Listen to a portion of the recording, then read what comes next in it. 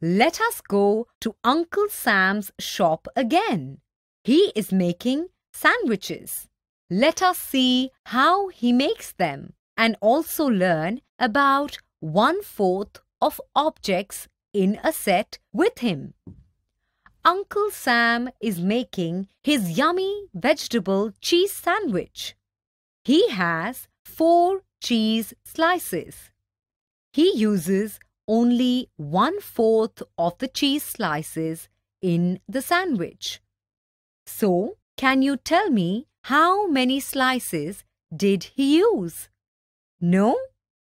Okay, let me show you how to find one fourth of objects in a set.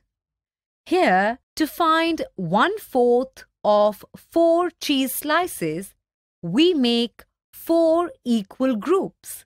So, each group has one cheese slice. To find one fourth of a number, we can also divide the number by 4. So, here one-fourth of 4 is equal to 4 divided by 4 is equal to 1. We say one-fourth of 4 is 1. So, Uncle Sam used one cheese slice in the sandwich. Now it is time to put the tomato slices in the sandwich. Uncle Sam has 16 slices of tomato. He used one fourth of the tomato slices in the sandwich. So, here to find one fourth of 16, we have to make four equal groups. Each group has four tomato slices. So, one fourth of 16 is 4. We can also divide 16 by 4 to get its one-fourth part. 16 divided by 4 is equal to 4.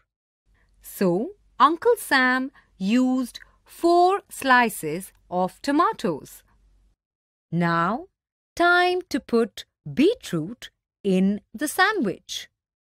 Uncle Sam has 8 slices of beetroot.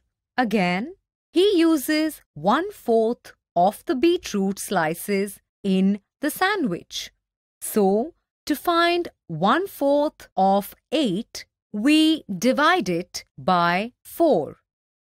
8 divided by 4 is equal to 2. Hence, one fourth of 8 is 2. So, Uncle Sam used two slices of beetroot.